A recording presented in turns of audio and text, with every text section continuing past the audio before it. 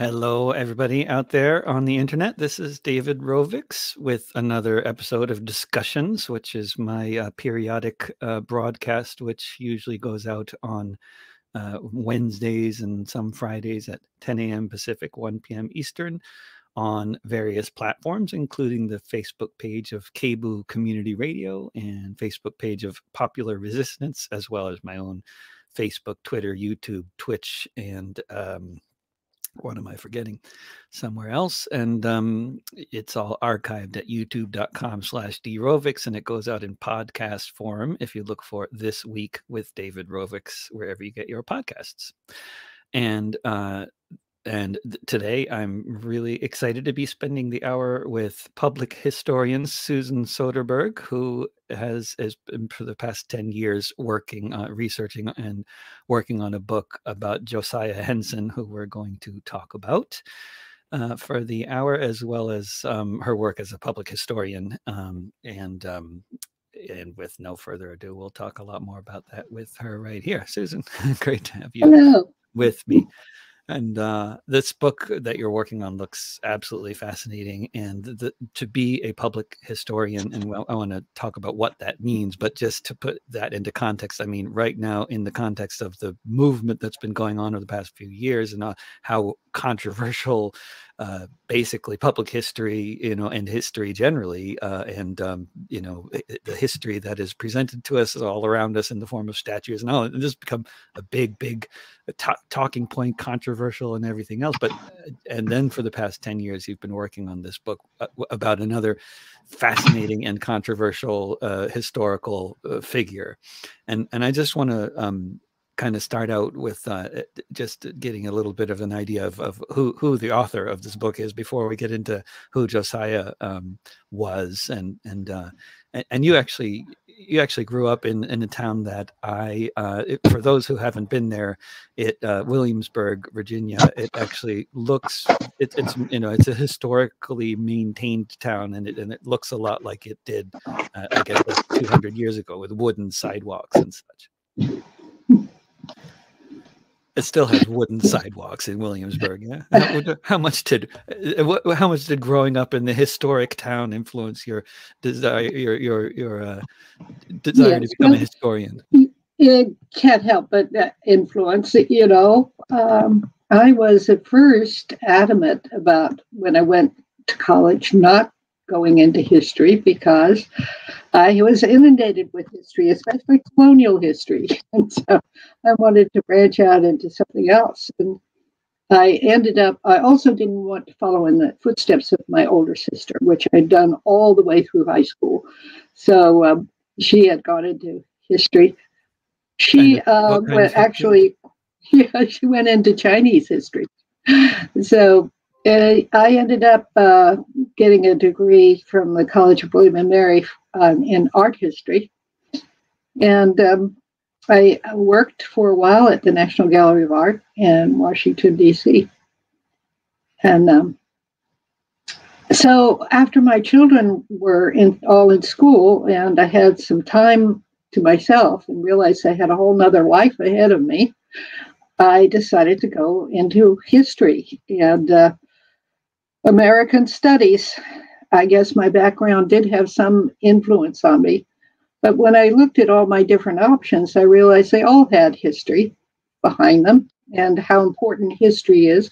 And I think that these days we realize how important it is uh, who controls the story. Mm-hmm. It's become very politicized. Uh, so it's important for everyone to know history and to know their own history and to know the history of their uh, country and their place because it is so um, often controlled. And then the the the telling of history through in the form of public history is is I mean. Well, public history is uh, uh, what I do is translate all of the um, language of the PhDs, mm-hmm. who mainly talk and write to each other. I translate that into something that the public can understand and that appeals to the public. but still having a basis in history. Anyone who knows me can tell you that I'm very strict about citations and about having a, a backing for whatever you say. The facts are important. I wonder how common. I mean, in the in the work of public history, it seems like you know some uh, through the ages anyway uh, it seems like the efforts being made in terms of uh, what kinds of uh, what what pieces of history get remembered in the form of statues and other public uh, uh, public facing things like like that sort of I mean, it, it's you know, or or simplified tellings of like textbooks. I don't know, you know, it, it uh, the simplification of something often becomes uh, you can see where the narrative is go or where where the the viewpoint of the of the narrative is coming from or the or the the person telling the story is, is coming from right it's often kind of uh, trying to lead us in a certain direction that's correct and you'd be surprised at how easy it is to control the public memory and mm-hmm. direct it in certain directions david borstein uh, wrote a book about this and another example is um, a book called uh, Pickett's Charge. And the author of this book looked at all of the different accounts from both sides of Pickett's charge at the Battle of Gettysburg and the Civil War, and how different all the memories were. Mm. How very widely different these memories were of the people who had participated in this one event together so your own memory and the collective public memory is very subject very much subject to to influence mm-hmm. and then i mean a story can be told about a country or a place or a person and and people can become really emotionally invested in this story that is actually just completely made up from the first place right i mean that, that oh yes that, that happen a lot right? that that has happened quite a lot uh, i actually had uh, as a public historian um, I, to give you an example um, i was training docents for um, cabin that was lived in by enslaved people, a slave cabin. And we had to be very careful about our interpretation for different audiences.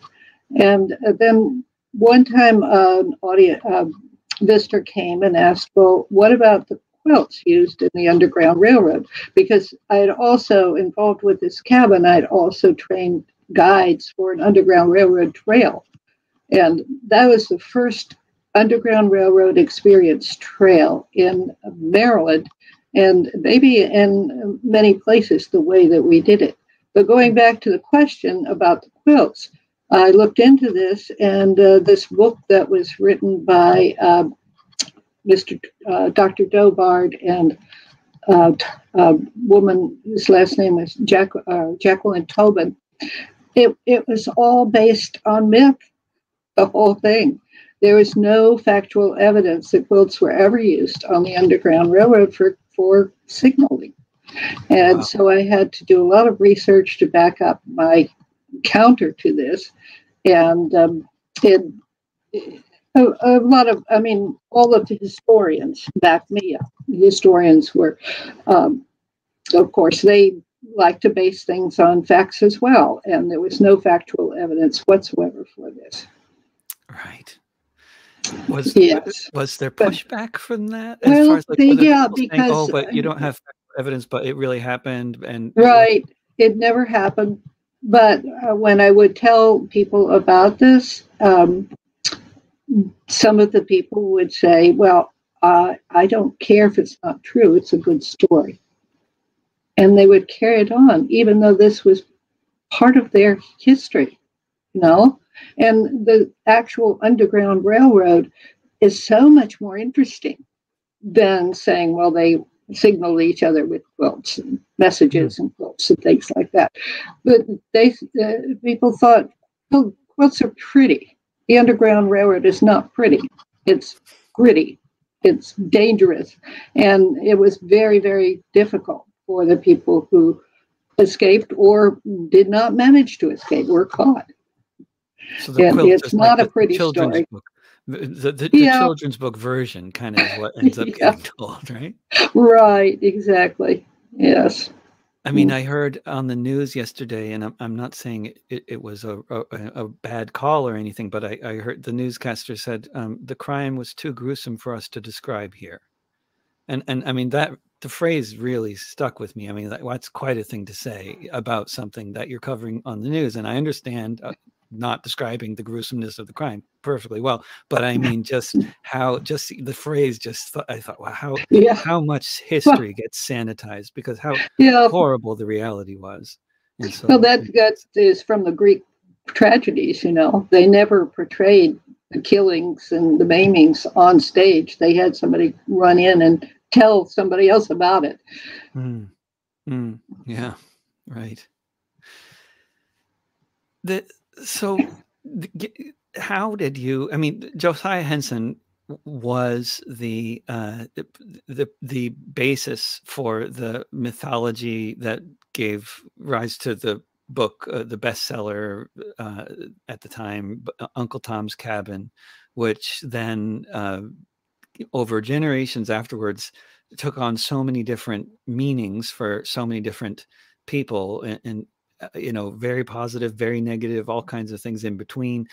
And then, I mean, it's such an iconic uh, figure that then gets so tr tremendously misunderstood and differently understood. And then, and then uh, to find that the guy himself, who actually was not Uncle Tom, but was a, real person, Josiah Henson, actually wrote several autobiographies uh, uh himself. And then, and then, but then you're actually doing research to find out like what really happened rather than rather than going on the fiction of the, of the Uncle Tom's Cabin or on the what turns out to be to some extent the fiction of his several autobiographies, which uh, that's quite impressive yeah. to write three autobiographies yeah. about anyone. I mean, regardless of how in, interesting one's life has been, that's quite something to write three autobiographies about yourself. But uh, actually, but there are a total of seven, David. Seven. Oh my goodness!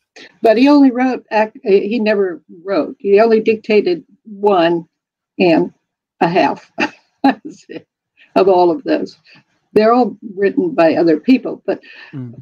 let me start at the beginning. Yeah, please. Uh, the idea that was pa- is is still uh, being passed around is that he was the model for Uncle Tom and Uncle Tom's Cabin, and that he met with uh, Harriet Beecher Stowe before she wrote the book, and she he told her his story, and she based uh, her book, or fictional book, Uncle Tom, on him.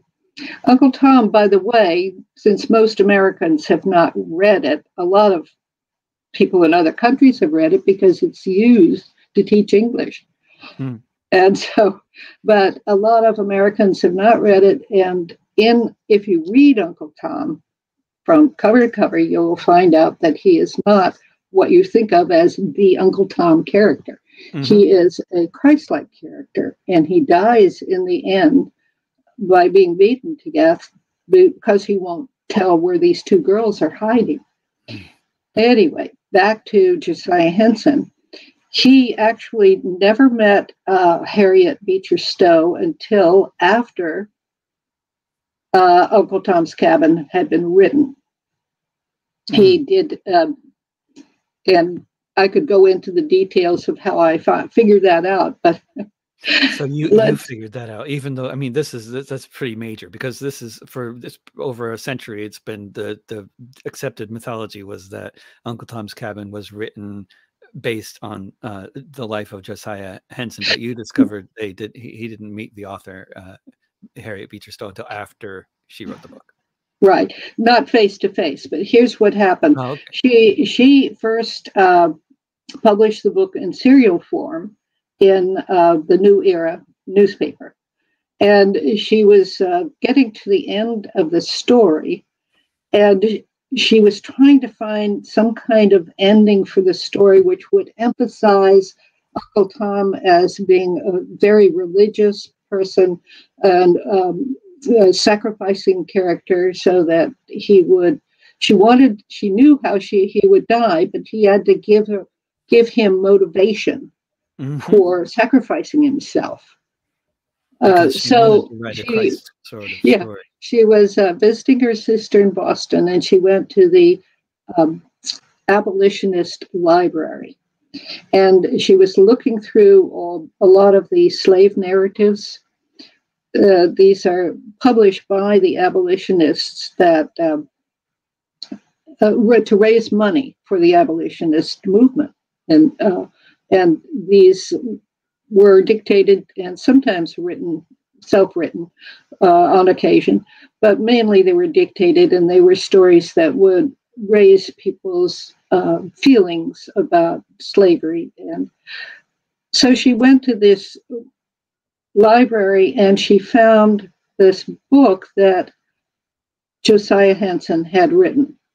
He had, um, uh, I'll tell you why he wrote that um, in a few minutes, but he had dictated this book. He could uh, read a little bit, uh, but not really write. And uh, he had dictated this to uh, the person that he knew in um, Boston, who had written it down and actually paid for the publishing himself. And the, there were very few copies, about 500 copies uh, of this original 1849 autobiography of Josiah Henson that uh, were published. So she read this, and there is an incident that he talks about in his life where he is, uh, even after he's purchased his freedom and uh, he's gone to, to uh, Kentucky to his owner's brother's plantation in Kentucky with his wife and children. And even though he has his manumission papers, they are going to sell him because he's a troublemaker. Mm. he's a he's a preacher. He's uh, riling up uh, the um, the people to by making them Christian, the the enslaved people.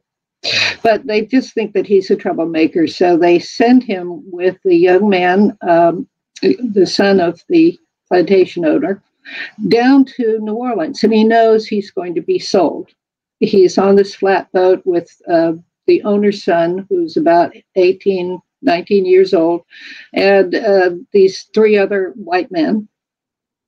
And they uh, have given him a lot of leeway because he's been a trusted slave for a long time. And he learned how to steer the flatboat and how to manage it. So they let him take uh, care the, of navigating the flatboat down the Mississippi River at night, which was mm. very precarious. But they were sleeping in the cabin there in the flatboat, and he had this idea that he could take this axe and he stood over these three sleeping men with the axe and thought, if I kill them, I can step off of this boat to free land and be a free person. But, but then he stopped himself and he said, but I am a Christian man, and I don't want to spend the rest of my life as a murderer. And so his talking to himself, he talked himself out of murder. And when she read this, she said, This is what I need this is a very religious man. So she took um, some other incidents of his life from his autobiography that had to do with his uh, belief in God and Christianity. And uh, he, she actually took the same incident with the axe um, in her book, uh, Uncle Tom's Cabin. So this was at the end, at the end of the book. And this is um, after then the book was published in a book form and became such a bestseller. And all of these people who were purchasing were saying that, oh, slavery couldn't be this bad. You're exaggerating. Mm-hmm. So she published uh, The Key to Uncle Tom's Cabin, which has enormous book actually and it had all of her factual information mm. all of the um, slave narratives and all of the facts that she had gathered about slavery in the South in the key to Uncle Tom's Cabin. And in the key, she told about her being influenced by Josiah Henson. She said, uh, talked about how religious he was. But he was she also said that he was not the only person to form the character of Uncle Tom. More, uh, uh yeah, yeah, amalgamation, yeah. And so, so that's that's how you know he got hyped up uh, mm-hmm. by publishers who wanted to make money from him being. And the book, uh, his third book was titled "The Real Uncle Tom." Yeah, you could see that yeah. right with the, the publishers. So like my book, my book that I'm writing is called "The Real Josiah Henson." Oh, great, great. yeah one of those wonderful historian inside jokes that the people who get it will be like, "Oh, that's hilarious," and everybody oh, else, well, well, that's how jokes are. yeah. And Josiah Henson, after uh, so so he he he per, he purchased his freedom. It was a situation, and but then they they, they were going to sell him literally down the river again. Well, yeah, it, it's um, would you mind if I started at the beginning because oh, it makes more place. sense? We got plenty of time. Yeah. Yes, great, great so, okay. Making sense is always helpful. yeah. Josiah Henson was born enslaved in southern Maryland, and when he was about when he was nine years old, they say six, but he lied about his age through his whole life. We um, have evidence that he was actually born in uh, 18 in 1796, not in 1789, as he said. So he was younger than he said he was. That's sort of par for the course because no, it was very, very unusual for an enslaved person to know when they were born. Mm. This would have been, and, and sometimes these slave narratives open up with, I was born this year at this place with this master. And it, it's a formula that they use in the slave narratives. So you have to come up with a year. And somehow he came up with this year. I don't know if he really was aware that he was making himself younger, but uh, knowing his character now as well as I do, I think he did. Mm-hmm. anyway, and made himself older, I'm sorry, than mm-hmm. he actually was because it served his purpose at the time. So he was sold uh, to um, a farmer in Rockville, Maryland, um, just outside of Rockville. And this uh, fellow, Isaac Riley, um, was, uh, he became, after, when he was about 18 years old, Josiah Henson got religion. He mm-hmm. heard a minister uh, giving one of these uh, uh, sermons at a mill, and uh, one of these itinerant ministers, and he was really struck by the fact that what he said, um, quoting from the Bible, that Jesus died for everyone, not just the wealthy, died for the poor and the servants as well. So he just became converted at that point and uh, went to religious services on an active basis, but he was listening to the white ministers, and they were saying things like, um, quoting parts of the Bible that would agree with the slave masters. Mm. You know, that slaves, uh, servants should obey their masters and, and should be loyal to them. And, and he believed this. He believed that because he was born enslaved, God had made him a slave. So then it was his duty to be the best slave he could.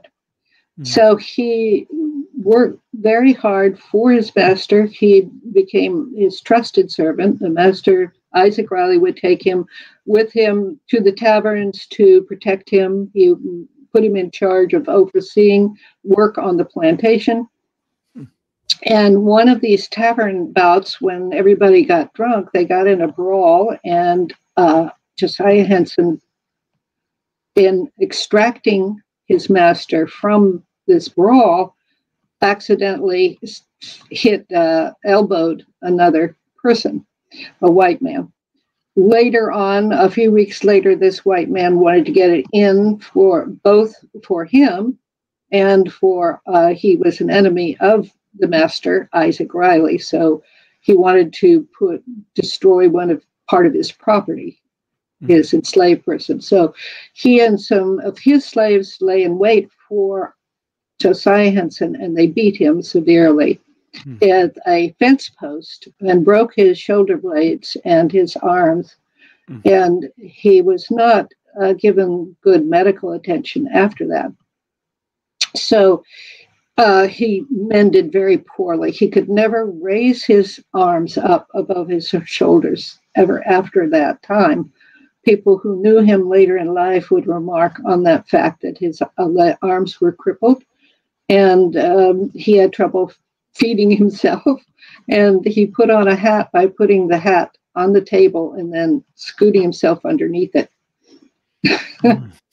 and so he was maimed for life.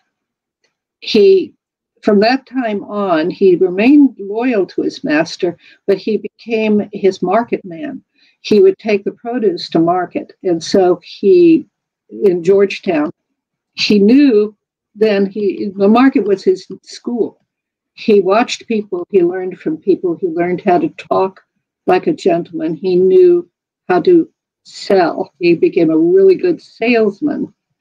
And you know, a salesman, you have to sell yourself as well as the product you're selling. Mm. He learned how to dress. He learned about uh, compact, uh, contracts that people had uh, made with each other and what happened when they broke the contract. He just, uh, it was his school, the market was. And he was there about three years. Then his master, when it was in financial difficulty, he was married. Josiah Henson and the master were both married by this time and had a couple of children. So Isaac Riley asked Josiah Henson to take his slaves to his brother's plantation in Kentucky. This was a long distance and took them two months. He finally agreed to do it. Uh, they were given a horse and a wagon and a lot of provisions. They went up to um, the Ohio River and then got a boat and went down the Ohio River. But the trek from Rockville to the Ohio River was very difficult. And I believe that uh, his wife Charlotte lost a baby along the way because there's a gap in there between her babies. Mm. And there's some other indication that that could have happened. So now they're in the plantation at uh, in Kentucky, and he is again given a lot of authority. He's uh, allowed to go to all the different farms that uh, this uh, new master owns and ride a horse around and um, he is overseeing all of these plantations and reporting back to the master. So the other thing that he learned in the market, he was very good at counting. He knew his numbers very well, but he could not read or write. And the sales, and, uh, the sales skills and the uh, uh I wonder if that that also contributed to uh, you know being able to sell yourself and sell uh, things is very related to um, being uh, to to the uh, the re- religious professions. I, I, mean, I think exactly what really I was going to get into yeah. next, David, because mm-hmm. that's uh, yeah that he found that he had a, a knack for oration. He he was a good preacher, and he was very well accepted for this. And so uh, one fall, one of the preachers that he knew said, Come on over across the river to Cincinnati if you can get a pass, and uh, and I'll uh, get you to preach in these different parishes where they will give donate money to you. So he did that. He got a pass from his master.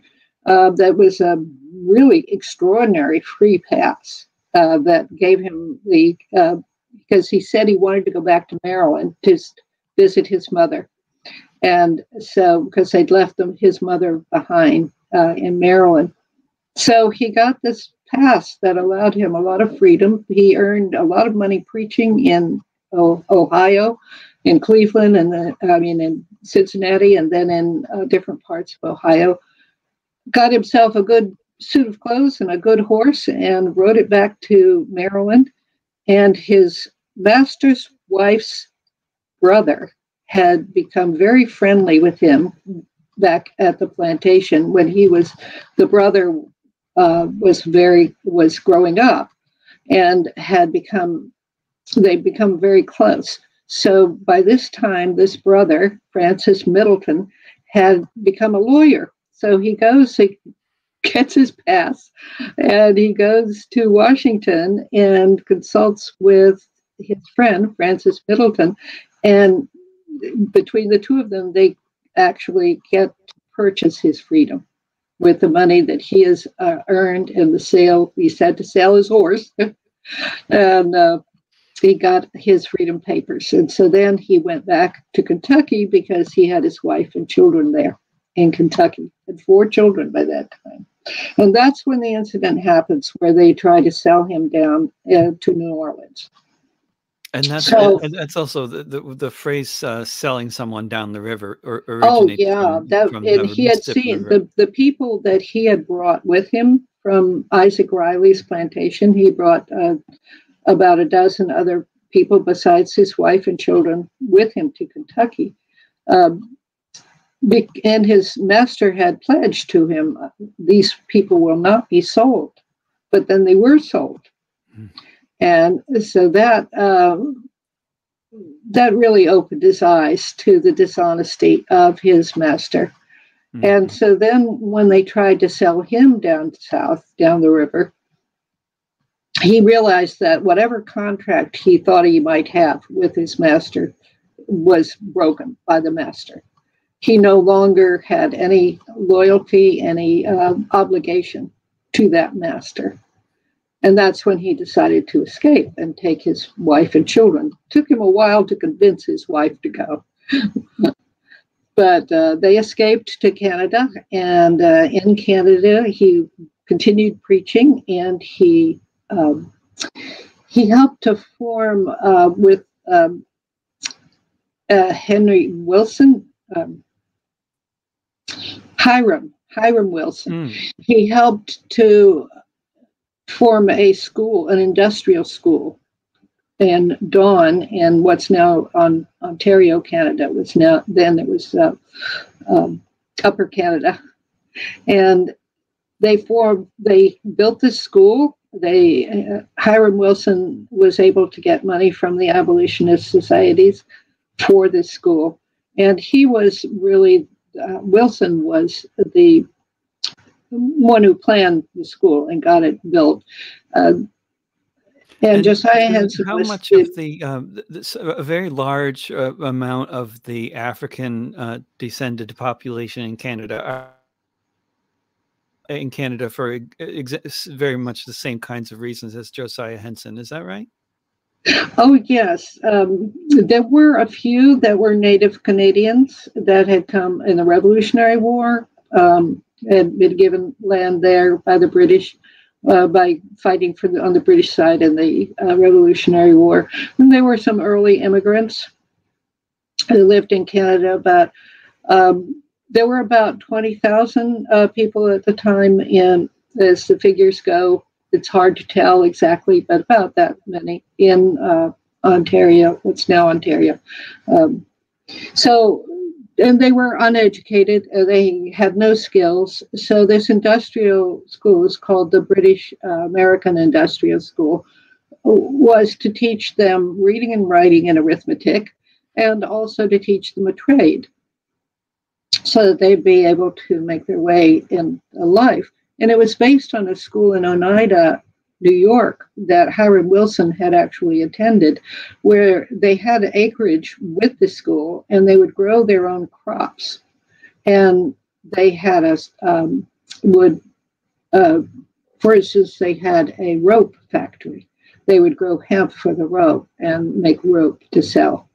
And of How course, the grains.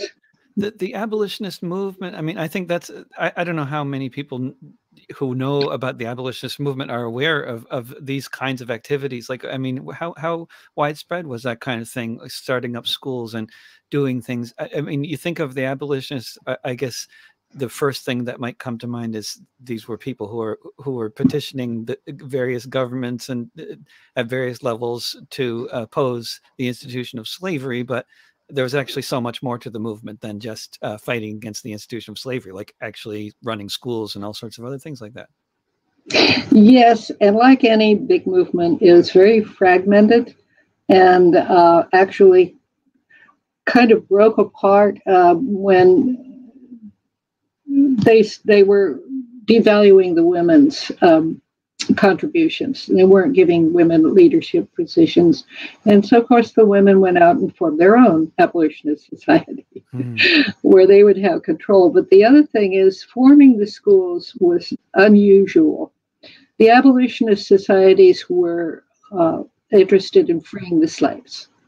And they were also fragmented in that regard. That is, that some of them believed in freeing individual slaves, through the Underground Railroad and by purchasing them, uh, raising money to purchase them. Others were uh, more in- interested in uh, the whole movement of, of destroying the, the slavery itself, the institution, that get rid of the, the institution of slavery and then within that uh, a- aspect of the movement, there were there were great, massive dis- divisions, right, between the, the, the yes, that's true. Wing, but it, it, it turned out that that the ones that wanted to start the schools um, kind of withdrew, and most of the abolitionists were more interested in freeing the slaves than in taking care of them after they were freed.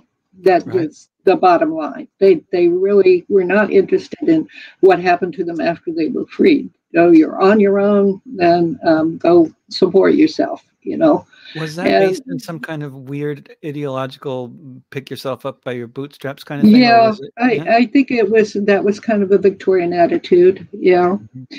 but that's why the school eventually failed uh, because of that.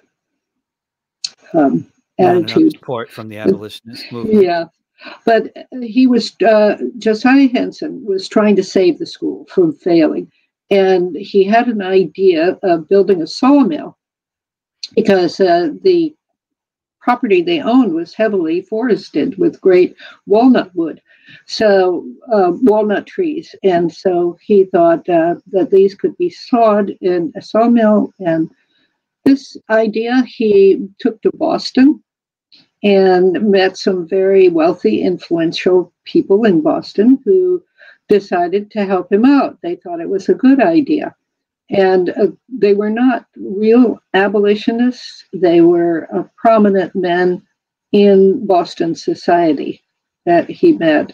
They were Unitarians. And um, so they all were of the same congregation. That's how he met him through the ministers and um, and you think so they, they, weren't abolitionists, but they were from a church. They were abolition. Yeah, they were against slavery. Yeah, but they weren't part of an abolitionist hmm. society. Mm. Um, as I say, there was a lot of politics going on in these societies at the time. So Sounds they supported like him. Today. The sawmill was built. They helped him to sell the walnut wood, uh, sawed walnut wood in Boston.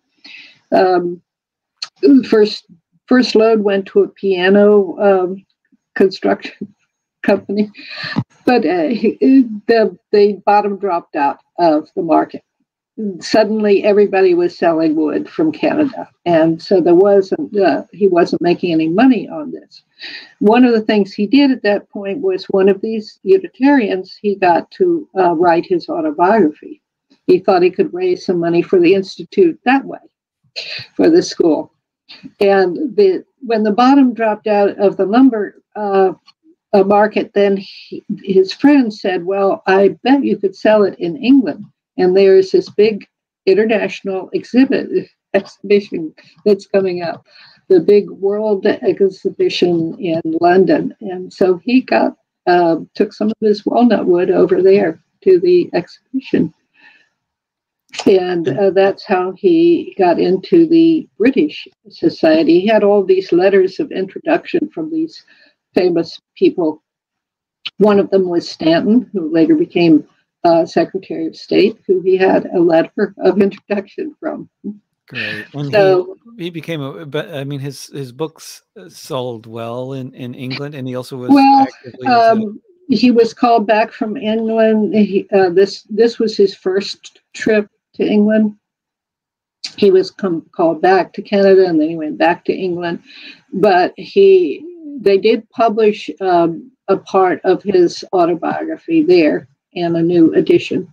And they changed a few a few things in it. So it was because they changed a few things, it was a new autobiography. But here comes the big one. Mm. Then he become he goes back to Canada after being in England and um, where he was very well received and went around giving all these speeches to people and raising money for all the different causes there in England, but not a whole lot for the British Industrial School. anyway, he comes back to Canada and uh, he finds out after a couple of years that he's known as the real Uncle Tom, that this mm-hmm. has gotten out. That Harriet Beecher Stowe uh, wrote this book and said in the key that he was one of the main influences on the character. So he says, I've got to meet this woman. So that's when, in 1858, he's in Boston. And so he, he goes over to Andover and, um, and meets Harriet Beecher Stowe there. And she gives him a letter of introduction to her publisher, Jewett. John Jewett uh, is in Boston, so uh, Josiah Henson takes this letter of introduction from Harriet Beecher Stowe to John Jewett with uh, the manuscripts that he had uh, from his original autobiography. He had had various uh, people, um, two or three different people writing up these manuscripts. One of them had been in England where they had published um, as I said, a little bit more of his autobiography. So uh, Jewett took all of these different versions and put them all together, and um, paid him a flat fee for this second autobiography, uh, which he had tried to do to Harriet Beecher Stowe. He tried to give her a flat fee for her book. Uh-huh. Yeah, but her sister, who was a one of her sisters was a very good at finances and she said no no no no take a percentage do not take a flat fee take a percentage which so she did which made there. her rich yeah yeah and so but um, he uh, had josiah henson used that money to buy his brother's freedom mm. in 1858 mm. who was still enslaved in uh, rockville mm. So that was Canada. Yeah, he came up to Canada. Right. And so they lived there for a while, and then he decided he wanted to go back to England. So he got some more letters of introduction. He went into debt, is what happened. Uh, he was in a lawsuit and went into debt. He needed to raise money for himself.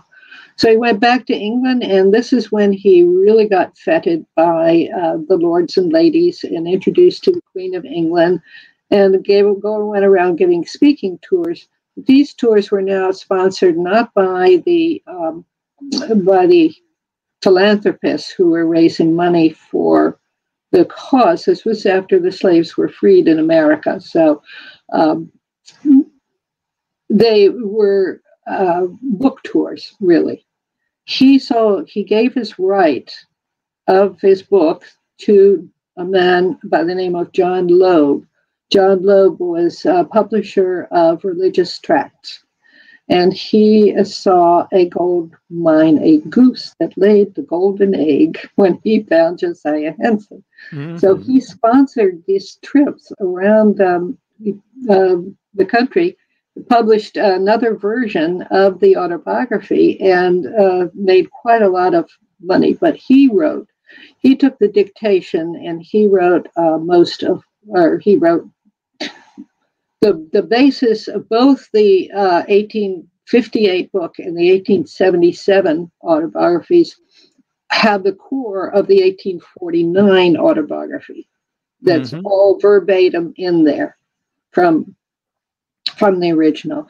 Uh, so it's just adding uh, a lot of frivolity, uh, a lot of the N word, actually, hmm. and which was never in the original.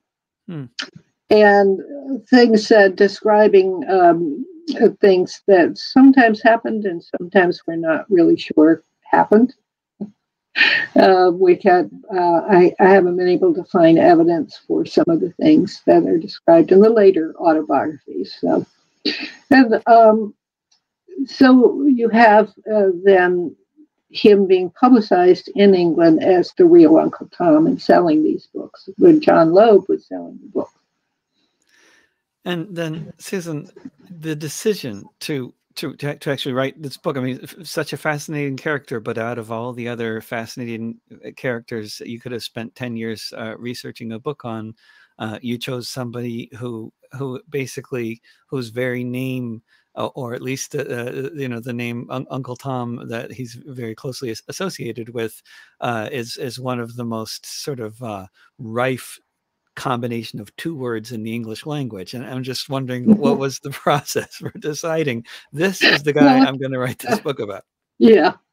Well, uh, three reasons really. You've already known one that I'm a stickler for the facts, and I like to tell the true history. I like people to know um, that the real Uncle Tom was different from the Uncle, Uncle Tom that's being portrayed by the media even back in the um, it started back during the civil war because it, the book was banned in the south. So instead of the book they put these shows on oh, that depicted uh, uncle tom as uh, being uh, subservient and serving the whites and doing the whites jobs and, in order to sort of this. counter it's, the mythology that the book yes to counter the, the, the book.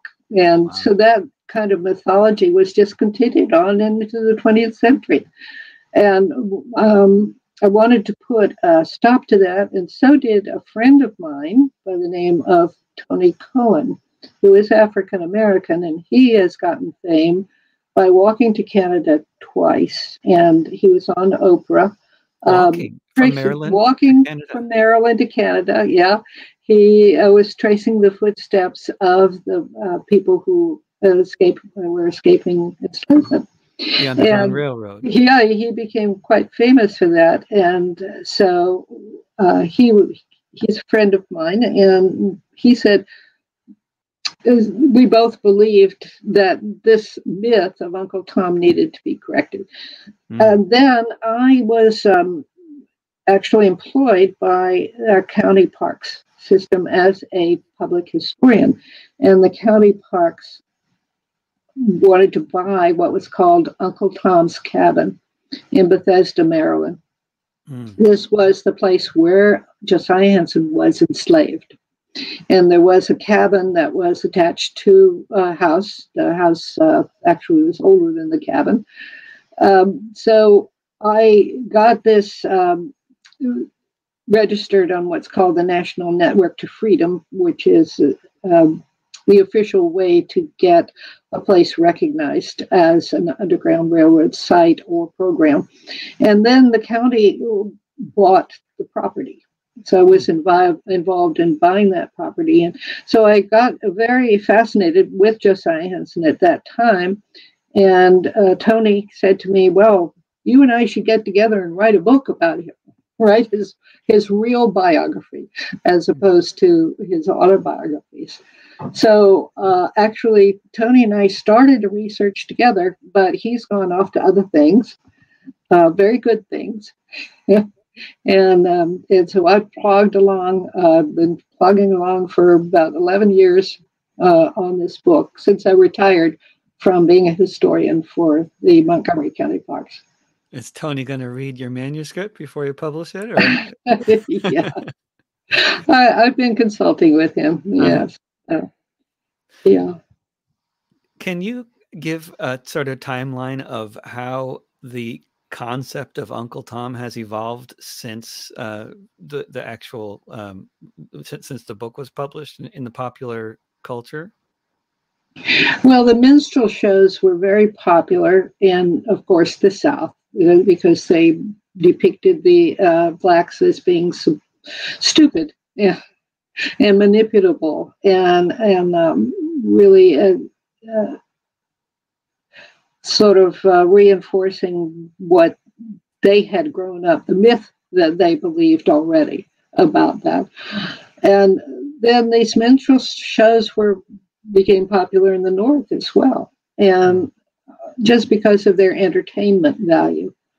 Now, they were changed a little bit when they came to the north, but uh, they uh, actually had a play that was written that depicted Uncle Tom as being a, a martyr like figure and uh, a Christ like figure, not not um, uh, not the subservient, um, uh, obedient, and doing the whites' work.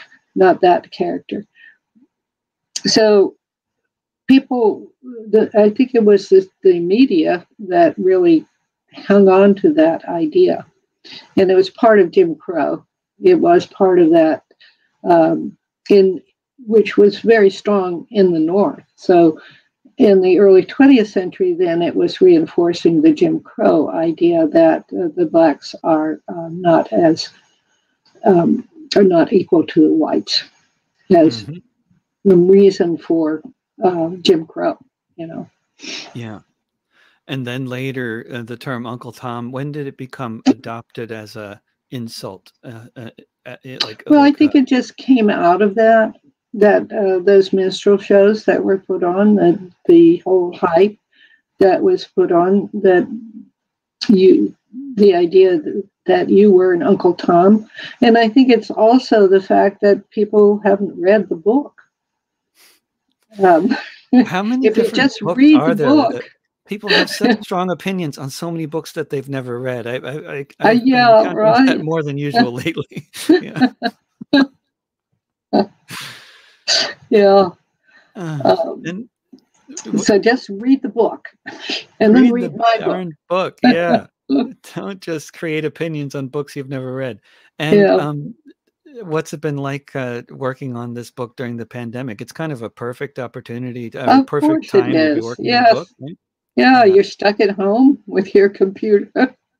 Which is yeah. what you're doing anyway when you're researching well, and writing. No, I, I actually did a lot of traveling. Um, my husband is from Wisconsin, so uh, every trip that we took between Maryland and Wisconsin, we would visit these places where Josiah Henson had been. So we've been to Kentucky, to um, and uh, every place I go, of course, I visit the library and uh, the historical society, and and gather all firsthand in research information. So that um, was really a lot of fun, uh, traveling in the footsteps and traveling his escape route from Cincinnati up to um, Sandusky, Ohio. That and then going to Canada and meeting um, some people there in Canada. They have uh, Uncle Tom's Cabin historic site there, uh, where the institute was. This the British American uh, Institute. So it, that was uh, adventures. And uh, so that I couldn't do. Yeah, so I've had to do all of my research online, and a lot of things are being copied, you know, scanned and put online. But it's very frustrating when you find something and you it hasn't been scanned yet. Right. yeah. people don't realize then, how much stuff has yeah. not been scanned yet. Yeah, you have to has been scanned. find a librarian, write to the library, and find out where can I get this. And um, but one of the great finds was at the Boston Public Library, they had scanned the original manuscript, where mm-hmm. uh, the um, person who took the dictation from Josiah Henson actually, uh, his handwriting, in his handwriting, and uh, scratching out some things and adding others. Um, it was wonderful to read that manuscript. And then if you're going to do a book tour, I imagine that uh, the the route of the book tour is fairly well predetermined by the route of the underground uh, by, by Josiah well, Henson's route. Yeah, I, I mean, think so. I'd, go to all those towns. that would be yes. Well, here in Montgomery County, Maryland, they have uh, out of that original purchase of what was called Uncle Tom's Cabin, they've made that into a whole visit. They've got a visitors center and they've got the whole place restored and interpreted. They have a visitor center with a museum and everything there. So that's any my plans first stop. as far as uh, publication and and uh, any any yes, it, plans uh, for a book tour? It's uh, I don't have the plans for the book tour. Um, uh, Georgetown University has agreed to publish the book Great. and I've sent it out for peer review. But I am waiting to hear back before I get to sign a contract. After I sign a contract, we'll when you're writing a book on on history, that they they say that is that the standard procedure that that uh, they they go for peer review. Yes, mm-hmm. that is standard. Who are the peers that, that review it? How I don't know. Okay. They would be probably I, I mean, what, what, generally, yeah. how does how many people it does that generally involve when it's a history oh, peer two or three, probably. Mm-hmm. Just yeah, and um, so right now hear hear about peer review when it comes to like new pharmaceutical products and that sort of thing, or or medical mm-hmm. journal. But I, I didn't mm-hmm. even realize there was a peer review process for history books. But that's yes, that's yes. If it's a good, uh, if it's an actual history book, not a not historical propaganda. novel, which I call an oxymoron. Why do you call it an oxymoron? A historical novel. You can't be both historical and a novel. Right. You're yeah. either sticking to the facts or you're, you're either fiction up. or nonfiction. a friend of mine, yeah. uh, he, he was a sort of a, I guess might describe as an amateur historian, but he he always said uh, that if you want to understand a time period, uh, one of the best things to do is to read the popular fiction of the day. Do, do you think that's true, or is that uh, is that just a, a weird opinion? No, that that gives you a good opinion of the literature. I'd say if you wanted to get to know a period, read the newspapers. Mm-hmm. Mm-hmm. The newspapers are very revealing. Yeah. Mm-hmm. Not just this, this, yeah, they have stole stories in there, and they actually reported the news. They and, and they had they separated the editorials from the news. It is what what a concept. yeah. and uh, the advertising even are very interesting and you can see like reports of accidents how many when the trains came out how many people were t- killed by trains um, things like that. That's so that that's basically the first uh, first draft of history, the uh, sort of first you know source kind of research that the, the yeah. newspapers of the day. Mm. Yeah. Right. And then the you can archive, find out a lot. They, yeah. And and getting lost in archives is is uh, yeah fun as well. yeah, I love the archives. Yes, that's one of the things I miss about being quarantined is going into these old historical societies and finding things that they didn't know they had. yeah, that's fantastic. Yeah. yeah. Great, like gold mining. Yeah. Thanks so much for spending the hour with us here. It's been Oh, it's been a pleasure, David. It really has. It's, yeah, really. I love to talk about history. Yeah, me too. Makes two of us. yeah. Yeah, excellent. Mm-hmm. Well, take care. I will see you uh, see you around soon. I hope. Okay. Uh, in June, we're going. We're coming out there in June. Oh, excellent. See you in Portland yep. in June. Excellent. Yep. Uh-huh. Great. That's just next month, even. Yeah. Good. Yeah. Take care, Susan. Okay. Thanks. See ya.